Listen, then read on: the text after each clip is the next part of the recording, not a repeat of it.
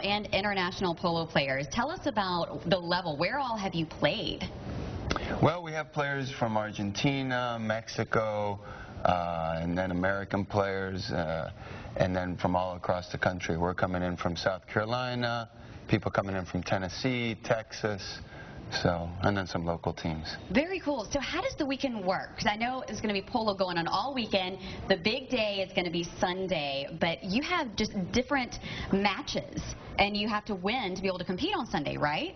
That's correct. We play Thursday in the semifinals, and okay. then uh, the two teams that win will play in the finals on Sunday, and the two teams that lose will play in the consolation game before that. Okay, so Sunday is the big day, and it's for the Point Clear Polo Cup. Now, tell us about that honor. That's very prestigious.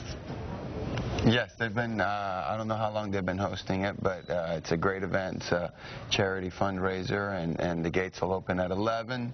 Uh, there'll be two games. There'll be a lot of people tailgating, and, and uh, you know, there'll be food and entertainment, so and everybody can go out all weekend. These are some pictures from this event that we're showing now. So you can kind of get a feel of what it's going to be like. It's always a lot of fun and a lot of other things happening this weekend. There's also going to be a silent auction Sunday featuring artwork created by world-renowned local artist Nall. So you'll definitely want to go and check that out. And of course, raising money for some wonderful charities, including the Mitchell Cancer Institute and Thomas Hospital's Pediatric Rehabilitation Program. So very good cause, and it's going to be a day of fun. You said gates open Sunday at 11. Yes. All right, so you want to go. How long does a typical match, a game last? The game will last about an hour and a half itself. Okay. Um, and there'll be two games, and uh, but there's plenty of activities, and you know, it's definitely a family event. Absolutely. So make your plans to attend.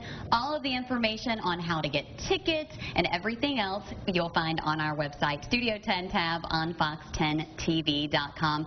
Gentlemen, thank you so much for joining us this morning. We'll see you on Sunday. Thank you.